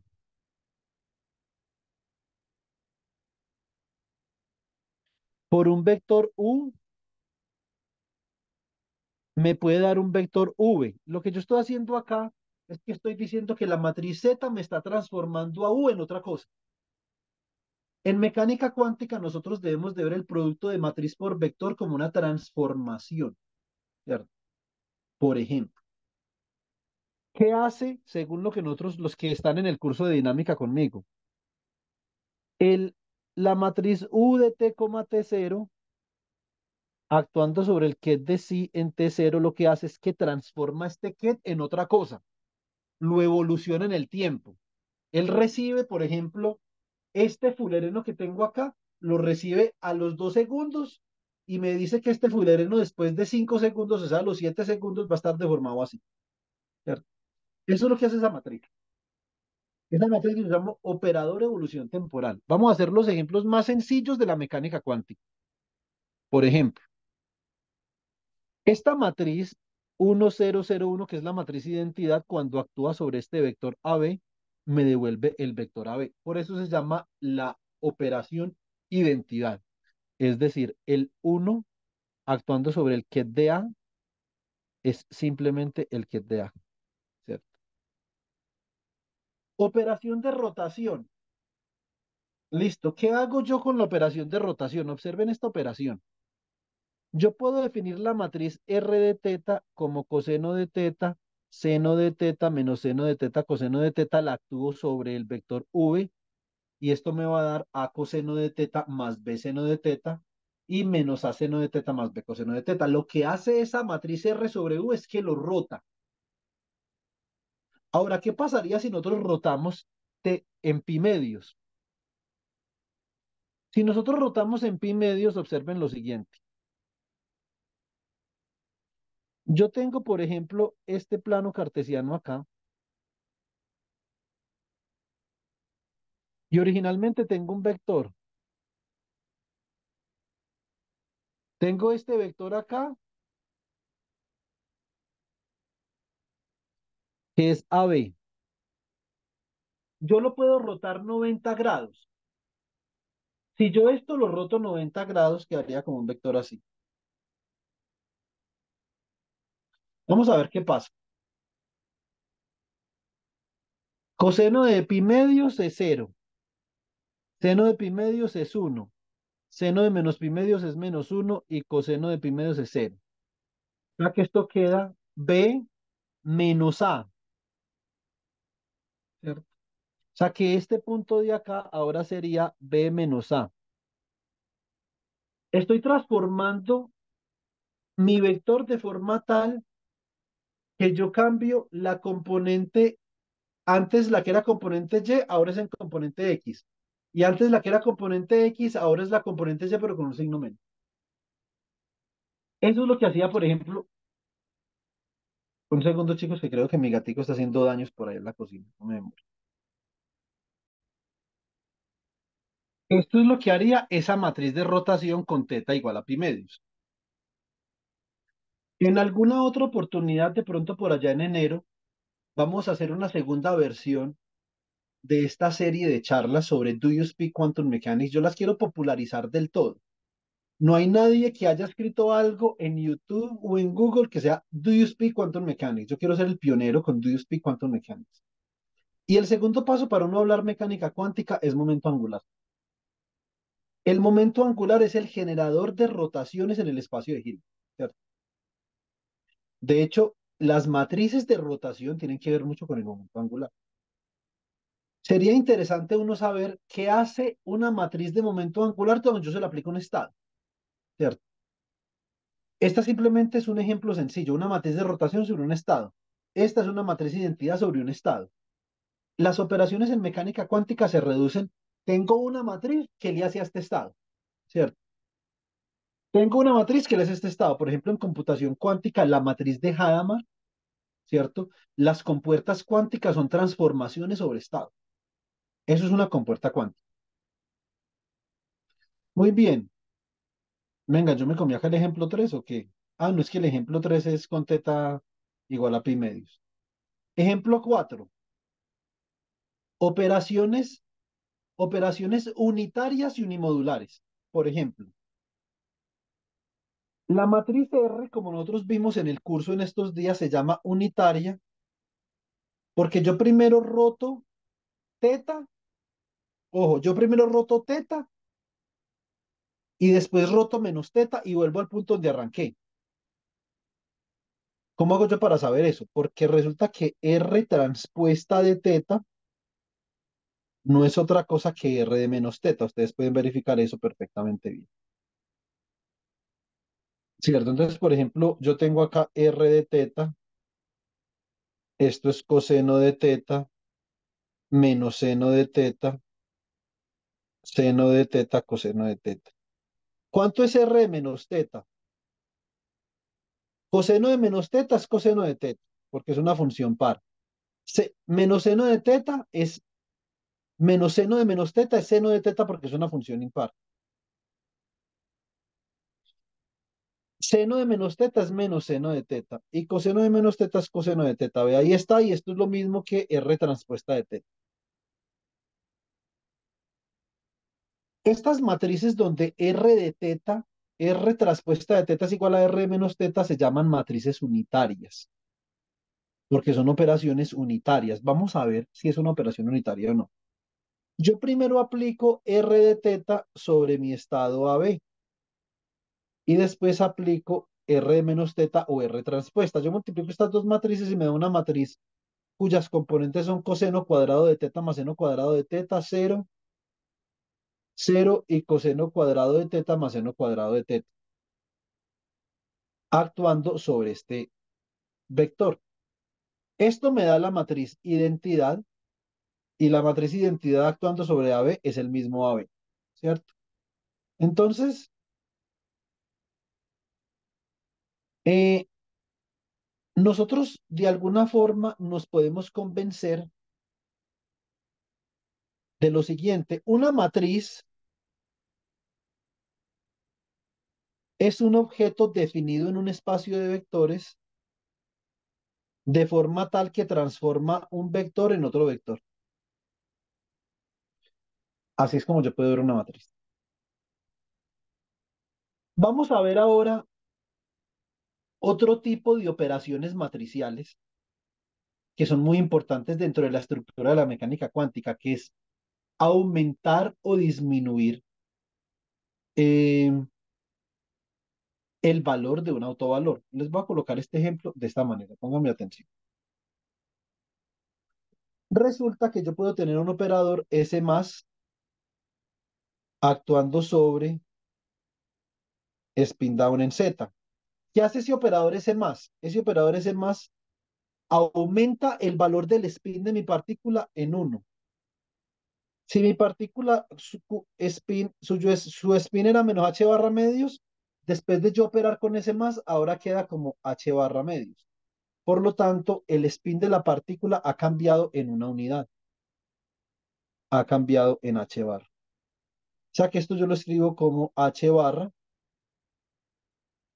por up en z. Esto es una operación de aumento. Y aquí en inglés la escribimos como rising operation. Listo. Vamos a escribir una, una operación de lowering. ¿Cómo sería lowering? Lowering sería si yo aplico S menos sobre up en Z. Esto sería igual a H barra por S por spin down en Z. Eso sería lowering operation. Estos operadores tienen que estar representados de una forma matricial particular para poder que sean rising y lowering operators. Como en el oscilador armónico, yo aumento, aumento la energía de la excitación de mi oscilador o la disminuyo con estos mismos operadores. Observen una cosa. Si ustedes definieran up en Z, ustedes definen aquí up en Z como 1, 0 y down en Z como 0, 1. Observen que esta, esta matriz de acá convierte a 0, 1 en 1, 0. O sea que está aumentando el valor de su momento angular spin. Y esta matriz de acá convierte a 1, 0 en 0, 1. O sea que está disminuyendo el valor de su momento angular spin.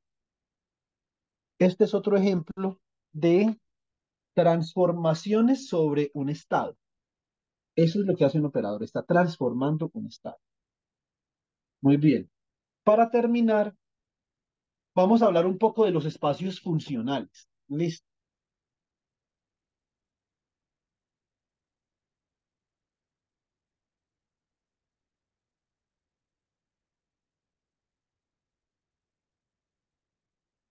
Esto sería el tema de mañana.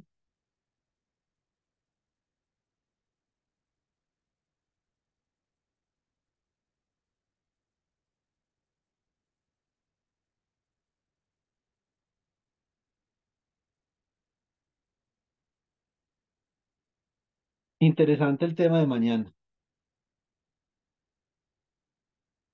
Vamos a poner en práctica nuestro lenguaje, ¿cierto? Muy bien. Entonces, espacios funcionales. Vamos a definir espacios funcionales. Los espacios funcionales se parecen en algo a los espacios vectoriales, porque los espacios funcionales lo que hacen es que me permiten expresar una función o representar una función como la superposición de una base. Ustedes pueden ver acá que en el caso de las series de Fourier, yo tengo esta base para la serie de Fourier.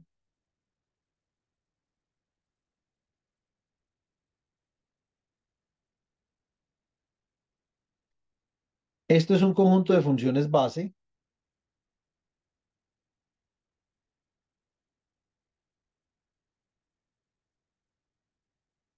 Y si estas funciones base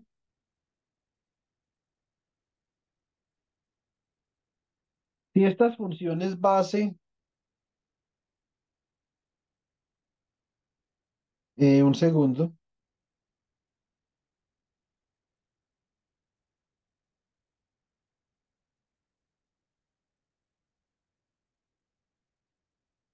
Las combino linealmente, hago una combinación lineal de esas funciones base. Observen que esto sería como, esto sería acá, como si yo tuviera este coeficiente a sub 0, ¿cierto? Em, o a sub 0 medios, de hecho, por el 1. O sea que aquí está esta función base, que es el 1. Aquí está todo el conjunto de cosenos y todo el conjunto de senos. Esa superposición de funciones base me permite representar una función en un espacio funcional. Listo.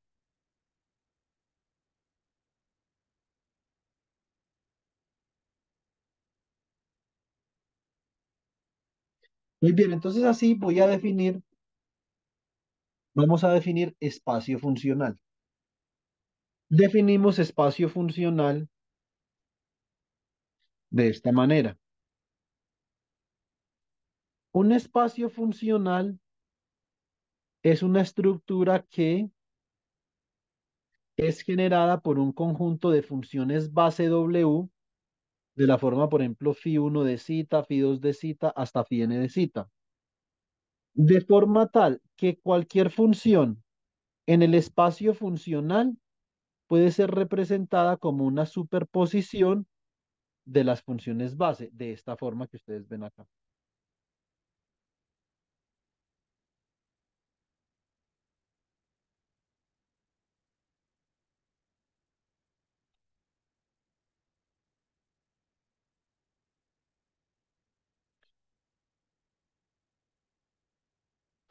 ¿Listo? Ahora, ¿qué es lo que hay que determinar? Lo que hay que determinar es una forma para, para hallar estas constantes, gamma 1, gamma 2, gamma n, y seleccionar una base. ¿Qué base vamos a seleccionar? Digamos, eso es lo realmente importante.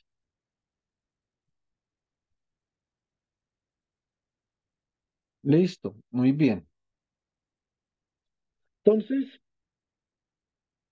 si yo me devuelvo cuando estábamos discutiendo los espacios vectoriales, recuerden que había una forma para yo determinar la constante de superposición que era el producto punto entre el vector y la base dividido el producto punto de la base con la base. De esta misma forma, obviamente hay una, hay una, hay una metodología matemática para yo hacer esto, digamos, menos, de una forma menos chambona, pues, cierto, que simplemente una analogía con un espacio de vectores, hay una forma de hacer esto. Pero lo que nosotros hacemos acá para determinar la constante gamma m es que decimos que este será el producto interior, recuerden lo que yo les he enseñado, el producto punto es una forma particular para yo proyectar un vector sobre otro en espacios euclidios. Los espacios no euclidios se llama producto interior.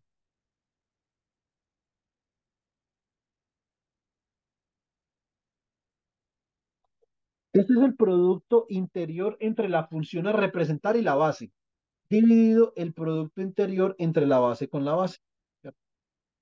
Y yo estos productos interiores los puedo representar mediante integrales de esta forma.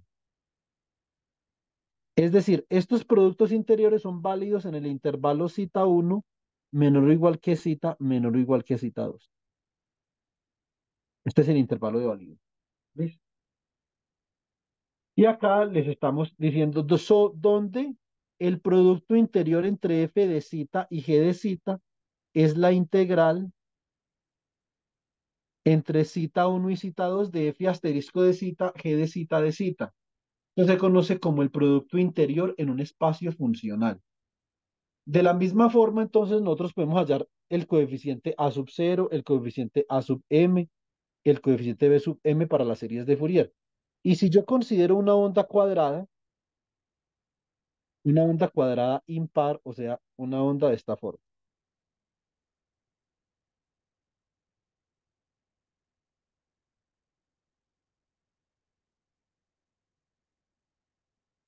Entonces yo puedo representar su serie de Fourier como es una onda cuadrada impar, como la suma de armónicos impares, ¿cierto? Donde acá podemos ver que el coeficiente de Fourier BM se puede evaluar usando estas integrales que aparecen en pantalla. Y el coeficiente de Fourier que acompaña las funciones impares es 4 sobre m por pi, donde m, m es odd. m es impar. Y obviamente los coeficientes asociados con las bases pares son cero, porque estoy representando una función como una función impar. Listo. Esta es la gráfica para eh, cuando yo utilizo una sola base, la superposición de dos bases, la superposición de tres bases, la superposición de cuatro bases. Y como ustedes podrán ver, en la medida que yo utilice más bases, mi aproximación a la función en su representación funcional va a ser mejor. Listo. Bueno, muy bien. Y esta ya sería, eh, con esto cerramos el día de hoy. Vamos a hablar de los espacios duales, ¿cierto? Entonces ya vimos cuál es la relación que hay entre los espacios de vectores y los espacios de funciones en términos de la base, la representación de la función, la superposición, la determinación de los coeficientes de expansión, ¿cierto?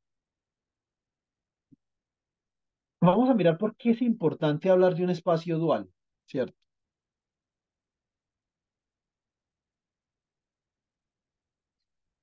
Ya después de la charla de hoy, chicos, yo les podría garantizar que ustedes pueden, ustedes podrían eh, decir sin temor a equivocarse en que ustedes hablan mecánica cuántica. You guys speak quantum mechanics, ¿cierto?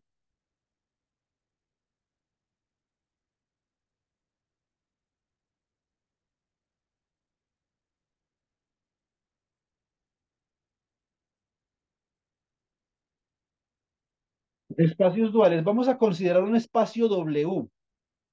Un espacio W que es R3 que está generado por la siguiente base. R3 entonces está generado por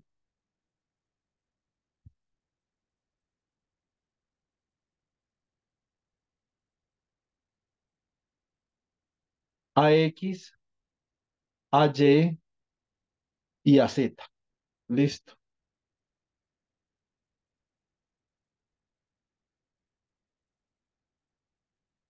Son estas tres bases las que generan este espacio de vectores. ¿Eso qué significa? Eso significa que la superposición de estas bases me permite representar cualquier vector en R3. ¿Listo? Muy bien. Este es el espacio vectorial W. Ahora voy a considerar un espacio vectorial dual. Noten muy bien esto. El espacio vectorial dual, que yo lo defino acá como W barra, ¿cierto? Es un espacio dual a W. ¿Eso qué significa? Primero que todo, que la base de este espacio es una base representada en términos de vectores fila, no vectores columna, sino vectores fila. ¿cierto? Y así como en el espacio vectorial, en el espacio vectorial dual yo puedo representar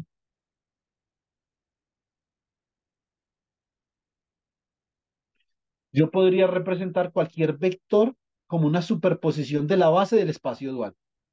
¿Listo? Una cosa muy importante que en mecánica cuántica nosotros tenemos que asumir, eso hay que asumirlo. eh, mm, eso hay que asumirlo, es muy importante. Es que en mecánica cuántica los espacios de vectores, como vamos a ver el día de mañana, pueden y serán complejos. Si ustedes escogen, por ejemplo, spin up en dirección Y como una base, esto es 1 sobre la raíz de 2 y sobre la raíz de 2. ¿Cierto? Y spin down en dirección Y.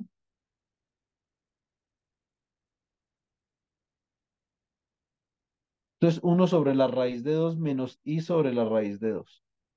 Son vectores complejos. El dual de un vector complejo, hay, no solamente hay que transformarlo en fila, sino que hay que sacarle el complejo conjugado. ¿Sí o no? Muy bien, entonces tienen que tener cuidado porque estos espacios de vectores son reales.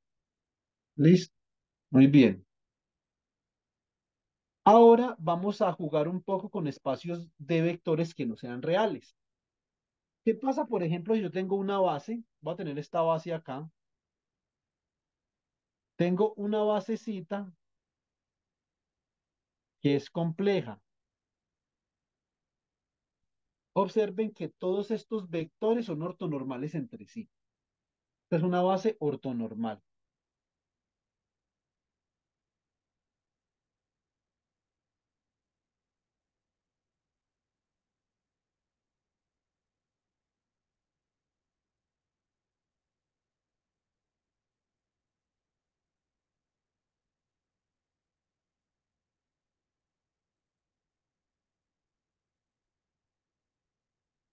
Listo. Muy bien. Miren una cosa. si ustedes cogen y multiplican 1 sobre raíz de 2 por 1 sobre raíz de 2 es un medio. Y sobre raíz de 2 por menos i sobre raíz de 2, ¿cierto? Em, un segundo, yo miro una cosa. Este por este 0, 0, 0. Esto da 0. Este con este da 0.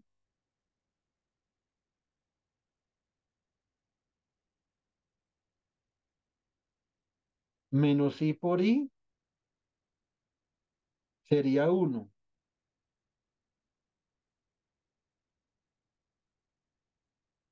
Eso significa que... Ah, no, porque es con el espacio dual. No, está bien así. Bueno, entonces, un vector cualquiera, un vector cualquiera lo puedo representar como la superposición de esta base.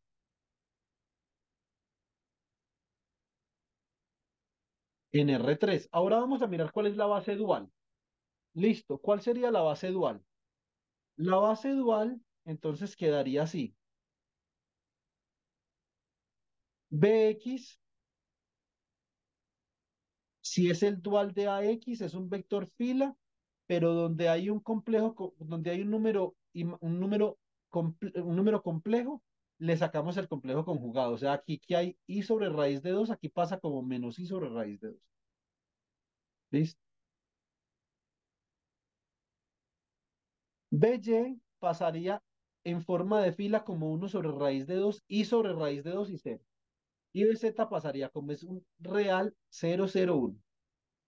Y en el espacio dual, cualquier vector se puede representar como la superposición de la base dual. Y aquí es ya donde uno dice, listo. Entonces ahora, en este caso, por favor note que los espacios vectoriales W y W barra, que sería el dual, son complejos. ¿Listo? Muy bien. Ahora, si es donde vamos a definir formalmente, con esto ya vamos acabando, sí, con esto, eh, esta es la última diapositiva. Aquí es donde vamos a definir formalmente cómo se hace un producto interior. Listo. El producto interior se hace así. Entonces, el producto interior es la proyección de una base sobre otra base. Dice acá, vamos a definir un vector U en un espacio vectorial W y un vector V en un espacio dual W barra. Entonces tenemos a U y, y tenemos a V. Uno está definido en un espacio y en el otro está definido en el espacio dual. ¿Cierto? Muy bien. El producto interior, ojo, el producto interior entre V y U lo voy a escribir así. Y me va a quedar como V barra por U, ¿cierto? Por eso es que en el caso de las funciones, ya más o menos nos podemos entender cuando yo defino el producto interior en el caso de las funciones, me queda aquí F asterisco por G, ¿cierto? Porque F asterisco es el conjunto de funciones en un espacio funcional dual al espacio funcional donde está representado F. En el dual está representado es F complejo, F asterisco. ¿Sí o no? Muy bien. El producto punto, ¿cómo quedaría? El producto interior. Entonces el producto interior quedaría así. Quedaría Vx asterisco por Ux, Bx a X. Pero vean que Bx es un vector que es un vector fila.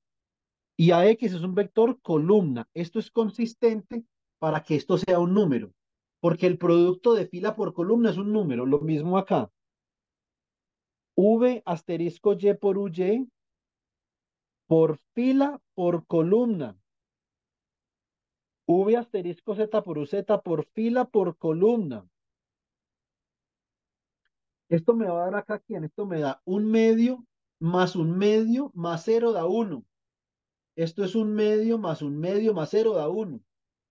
Por lo tanto, así obtenemos nosotros el resultado clásico y convencional según nuestra lógica para el producto punto que nos han enseñado toda la vida. Lo que pasa es que ahora ya somos constantes que el producto punto se construye con espacios duales, es la proyección del vector en un espacio sobre el dual. Entonces, por ejemplo, si yo quisiera el, el producto interior entre el ket alfa y el ket beta. El ket beta y eh, el ket beta es un estado representado como una columna en un espacio de vectores. Si existe un espacio dual donde está el bra. ¿Sí o no?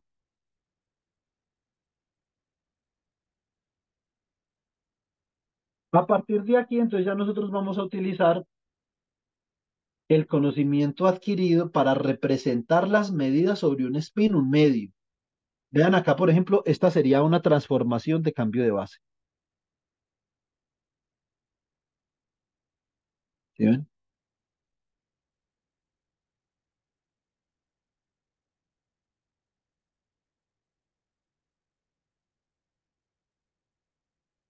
Listo. Y aquí para poder hallar estos productos interiores, observen que necesito poder definir tanto mis kets en el espacio vectorial como mis bras en el espacio vectorial dual, ¿cierto? Si no, no podría hacer esta operación acá. Y ya a partir de acá comenzamos a trabajar con el operador de estado y con coherencia cuántica. ¿Cómo es la semántica? ¿Cómo es la escritura? ¿Cómo es el código de la mecánica cuántica para hablar del operador de estado? Eso es lo que vamos a hacer.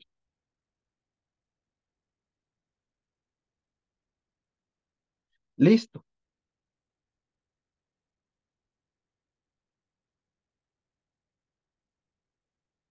Esto es todo por hoy en esta entrega de Do You Speak Quantum Mechanics.